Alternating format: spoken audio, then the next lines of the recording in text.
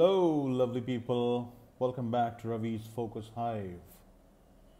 Today, we're going to spend some time discussing about work life balance.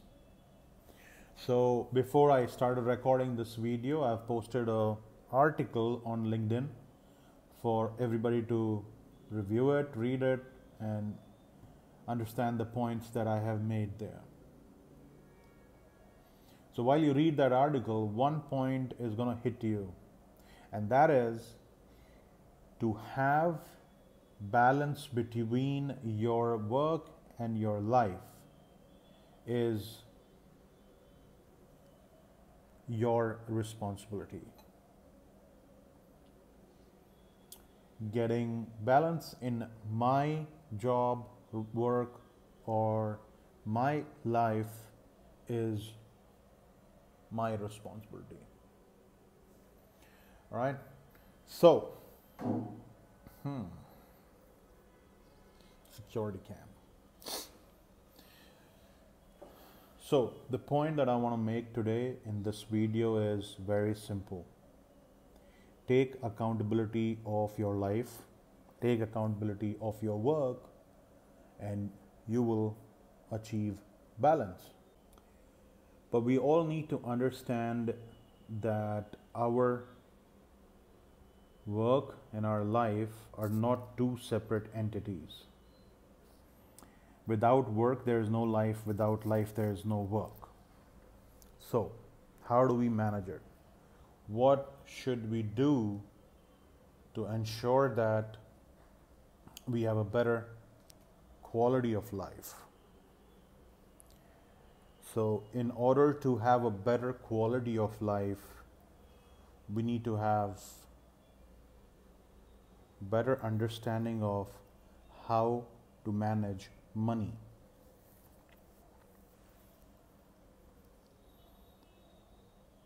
Now, eh, before we start managing money, we need to have money. How do we get money? Very difficult question. How do we get money? By working. Isn't that too difficult to answer? Yes, we need to work to earn money. Now it depends on the kind of work that we do and the amount of money we make. Who is going to change that?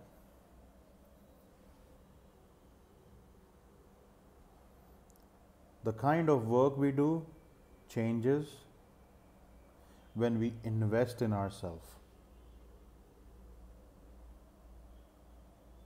What do I mean? Invest in ourselves is when we train ourselves. You to put some money in training, developing your skills, making yourself an important person. Right? So that's what is invest in yourself to get a better work right? A better work means better compensation. Today you may not know your hourly rate but i'd encourage you guys to go ahead and find your hourly rate. We all have hourly rate.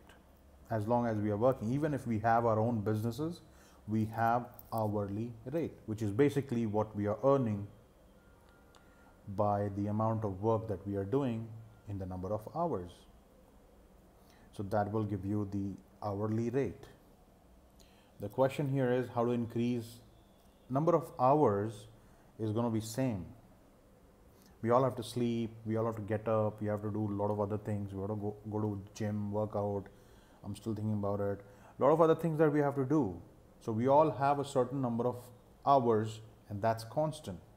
It can fluctuate a little bit, but it's constant. Right? So things that the thing that can change is the amount of money that you want to charge for your hour. How do you increase that? By improving the quality of work that you do. How do you improve that? By investing in yourself, making yourself the best at it, making yourself the specialist of what you do. So that's the most important thing that I want to tell you is spend on yourself to have a better work which gives you a better life. Right? Now, there are certain other things that we need to discuss, and they are the needs that we have. Right? We know quality of life, the better quality of life, the better balance, the better joy we have. But we need to understand the needs that are there which governs the quality of life. So to tell you, uh, I've summed up the needs that I could think of. There are just four of them health, emotions, spirituality, and social. The other four needs that we have, if you can think of any more, just comment in the comment sections and we can discuss about that. But it, will be good to find more if we have. But as of now, what I can think of are these four. Health is super important. Unless we are healthy, we cannot do anything. So we got to be healthy, right? We need to sleep properly. We need to eat properly. We need to work out. We need to we need to take care of our body in very simple ways. No joint pains, right? We need to take care of ourselves. So you got to put that time there. You have to invest that time. Second is your emotions. You want to be happy. You want to be joyful. You want to have love. You want to have all kind of things. But one most important emotion that is sense of security. And how do you get a, get sense of security? What gives you sense of security? Well, I can't talk about life and death, but uh, one other type of sense of security is from job, right? If you have job security, you are you feel secured. So how do you get job security? Your manager coming and telling you that you are safe and secured, you'll not be fired, is that sense of security? You making sure that your manager is always happy, does that give you job security? I think no. Job security is something that I define is that you're confident and comfortable at any given point of time to quit your current job and get another job. That is job security for me. Which means you're the best at what you do, you're super cool at what you do, and then you have right talent, right skills because you're investing in yourself. That anybody in the market is ready to hire you in split second. So that for me is job security. And that's how you should look at job security. That you are strong, you know what you do, you're the best at it, and at any given point of time, you can change companies. Just like energy, it changes form.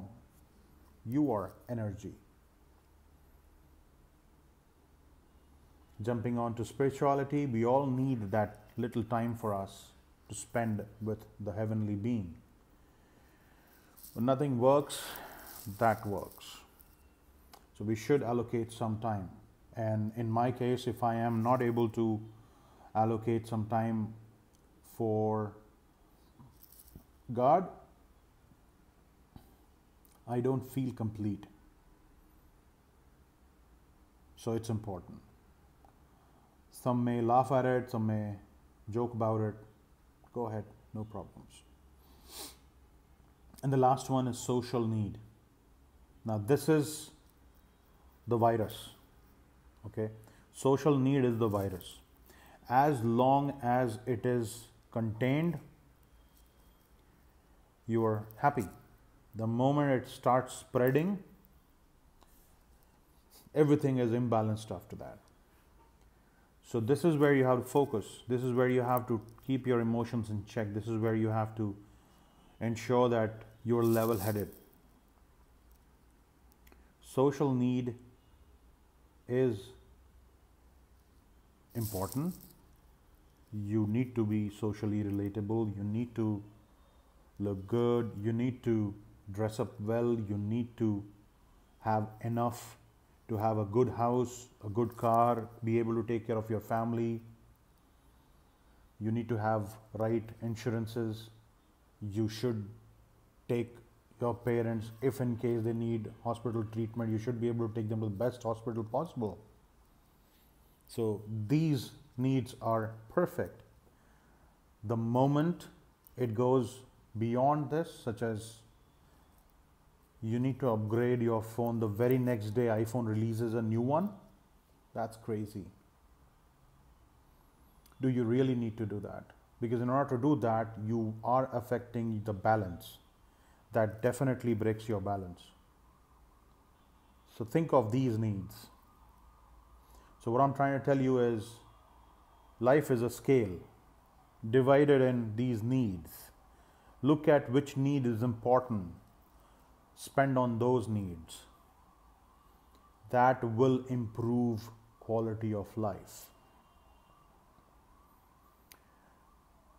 And that's what I wanted to share today. I again ask you guys to go ahead and read the article. It definitely hits you, gives you a new perspective about work life balance.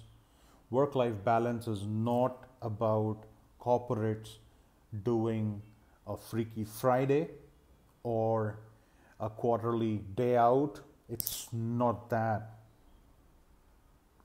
It's the amount of time. It's it's basically You've got a kid, you should be able to spend time with him or her. Quality time. You're newly married, you should be able to spend time with your wife. You should be able to meet your siblings. You should be able to take care of your parents. That is where the real life is. And again, planning is very important. You got to plan your life you got to plan your work okay? I can keep going on and on about all of this. So i just want to end it right now. I hope the point is put across. It is where's the camera? It is your responsibility it is your responsibility to balance your work and your life. And always understand they both are together. They cannot exist without each other. All right, then. See you on the next episode of Ravi's Focus Hive. Bye bye.